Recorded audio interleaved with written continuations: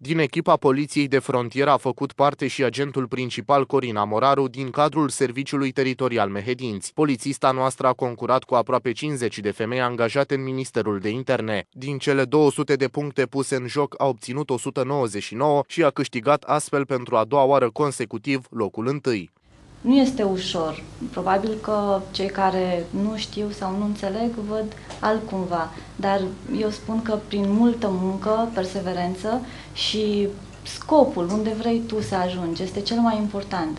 Trebuie să știi să îți dozezi uh, efortul. Nu contează numărul de cartușe trase în antrenamente. Important este cum te pregătești. E foarte greu să ajungi să tragi 2 ani de zile consecutiv, să iei locul întâi și gândiți-vă, e vorba de 199 de puncte din 200, uh, ședințe de tragere de concurs care nu sunt statice, să tragi dintr-o singură poziție de tragere, se trage din poziții diferite, după, uh, după un anumit efort fizic și e muncă.